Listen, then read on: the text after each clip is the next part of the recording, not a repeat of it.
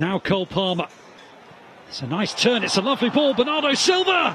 Good block by uh, Pickford and then Gundogan onto the top of the bar. First chance, really. They've been on top, the Blues. But it's the first time they've really broken Everton down.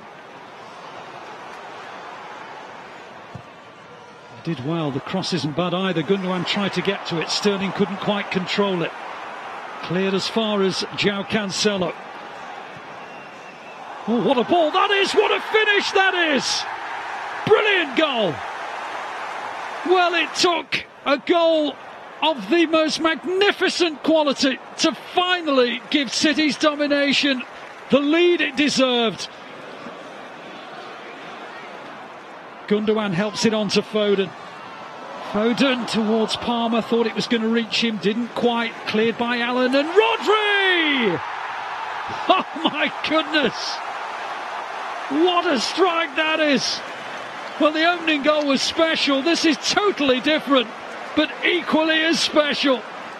Pick that one out from Rodri.